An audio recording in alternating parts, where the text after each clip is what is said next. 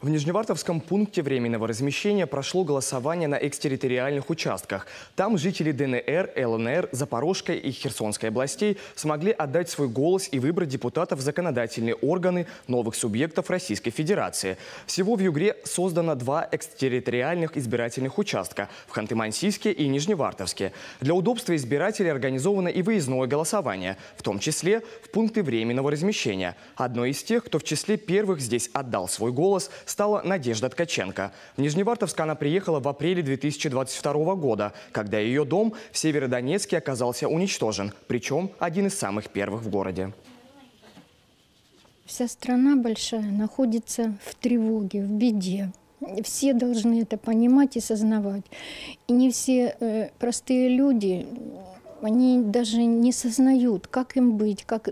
Поэтому нужны люди, которые в этом деле профи, которые должны руководить, помогать, помогать людям созидать, творить, детей наших растить, внуков, чтобы страна развивалась, а не была вернута в хаос. Поэтому я считаю, что мы всегда так делали, родители делали. Это старая традиция, мы обязаны идти голосовать, отдавать свой голос за тех, кто поможет нам в этой жизни жить, трудиться, созидать, творить. Очень много людей, которые приехали из тех регионов а, в Югру, то в городе Нижневартовске организованы экстерриториальные выборы, где люди могут спокойно проголосовать. Они могут проголосовать на дому. Мы также осуществляем выезда, вот, допустим, как сегодня в пункт временного размещения.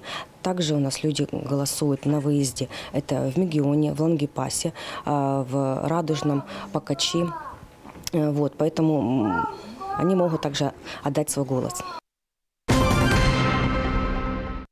Современная система видеонаблюдения установит на избирательных участках Югры. Специалисты Ростелекома обеспечат техническую готовность камер в единый день голосования. Напомню, 10 сентября югорчанам предстоит выбрать 712 депутатов городских и районных дум, 41 главу городских и сельских поселений, а также принять участие в выборах губернатора Тюменской области. 500 цифровых камер устанавливают на участках в крупных городах округа. В помещениях устанавливаются по две компактные IP-камеры, а также системами бесперебойного питания. Цифровые видеоустройства располагают так, чтобы обеспечить максимальный угол обзора для наблюдателей, но при этом не нарушать тайну голосования. Все приборы оснащены источником резервного копирования данных. Лучшие сотрудники крупнейших нефтегазодобывающих предприятий Сургута получили заслуженные награды. Добытчиков черного золота и голубого топлива поздравили губернатор Югры Наталья Комарова и губернатор Тюменской области Александр Мор. Почти 4 тысячи сотрудников компании «Сургутнефтегаз» отмечены на муниципальном, региональном и федеральных уровнях.